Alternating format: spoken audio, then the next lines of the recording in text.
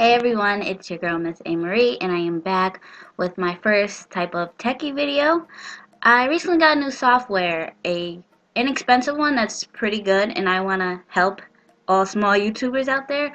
So I will be doing a series of tech videos and the first one is how to make an end card. So if you want to see how I make an end card, then just follow along.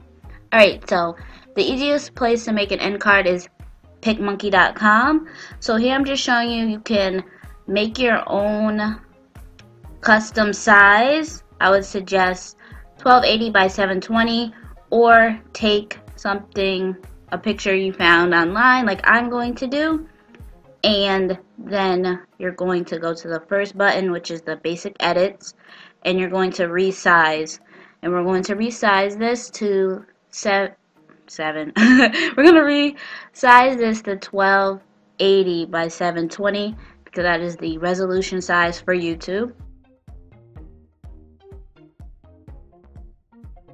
Alright, after we hit apply, we are going to then just do whatever we want at this point. This part is completely um, up to you. The way I do text is I obviously go to the text button and you can use their own text. I'm just going to show you that if it has a crown on it, it is um, premium or royal and you have to buy the premium PicMonkey.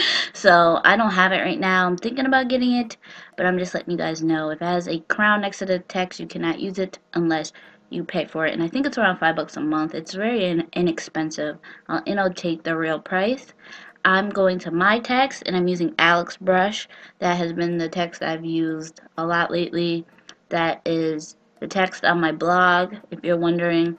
So Alex Brush. So just adjust the text to how big you want. I think I use 144 and then you just drag it out so it fits the whole screen.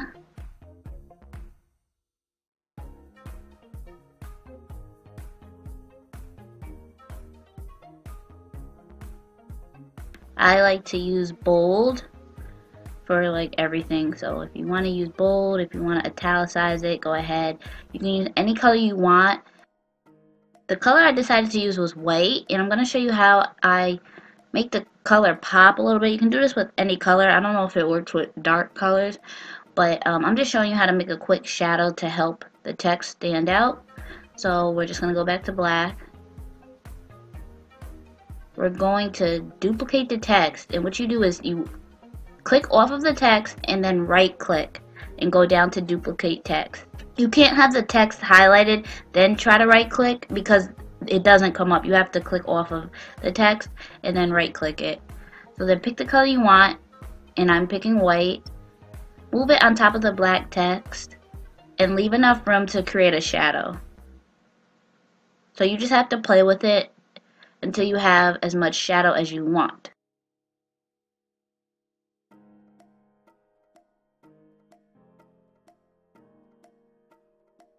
Once you're done with all your text, you can go ahead and combine the images together with that button in the top right corner. I'm just showing you how you can undo it so you can still move your text around, but just hit that same button again and it will combine everything together. Because once you have a lot of stuff it's easy to accidentally click something and move it. So you want to every once in a while when you know that you're completely comfortable with something just combine it all down. This is just a quick tip for those that like to put multiple videos on your end card. I see a lot of people make a rectangle, of course, don't use a square, and they fade it so it's not as opaque and they just put them anywhere they want to put a video. I don't do this just in case I make the rectangle too big and then it's in the background. So if you're putting multiple videos on your end card, doing that might help you stay organized a little bit. So for my social media like buttons, I'm just taking the rounded quarter rectangles and pu pulling it out as far as I want it to go. And then I'm just going to duplicate it the same way you duplicate text.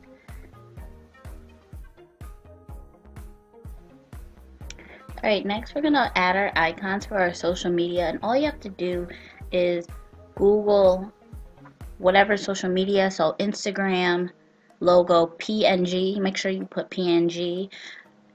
That's the best way to find them all transparent and still check and make sure they're transparent. So I went ahead and did all my social media and of course I did YouTube subscribe button PNG. So if you want a video on that, it's very, very simple. Just type that into Google Images. If you want a video on that, I can do that as well. And after that, just type out your text. This is not the text I used for my final end card because you can see this text didn't have numbers or symbols, but I'm just quickly trying to finish up. So just add that in for your buttons. Once you're done, hit save. Type in the name of your project, the quality you want, and save it to anywhere you want to.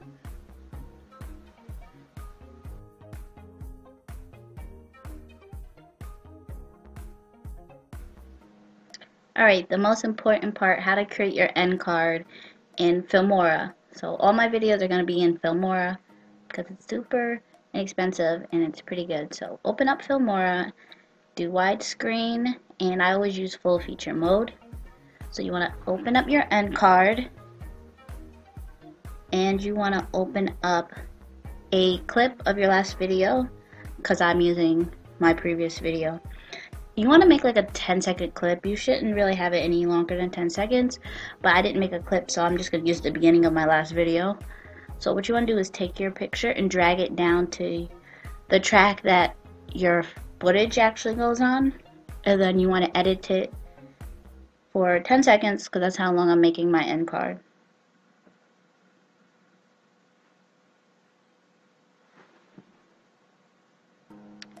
After that, take your actual video and drag it down to where you usually put your picture. And it's going to go on top of your end card picture.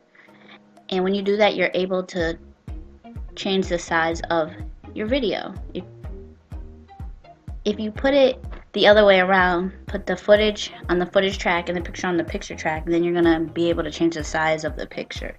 So change the size of your video and place it where you want to put it, and that's it. You can add music and then save it so you have a version of it with just the end card and the music so you can just add different video clips in there so if you want to add this to the end of the video, you're to have to export it and then add it just to the end of any video and you're done. What I'm doing right here is just splitting the video to 10 seconds so it ends at 10 seconds. And that is it for this video. Thank you guys so much for watching my first tech video. If there's any other things you want to see with Filmora, definitely leave them down below because for right now all my editing videos are going to be through Filmora. And if you want to hear more about Filmora, I can do a video on that also. So, thank you guys so much. Don't forget to comment, rate, and subscribe. And I will talk to you guys all later. It's Bye. your girl Ashley, and I am here with my drugstore beauty favorites. So if you want to see all the products that I love from the drugstore,